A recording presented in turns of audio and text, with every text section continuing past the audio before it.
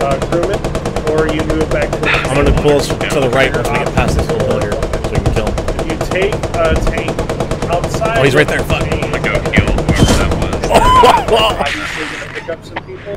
Holy shit, look at the people in front of us. That's. So as long as I'm goes back, first. if he was in a tank, Then I'll kill him. This isn't right. Yes, but I always drive a scout car, Chris.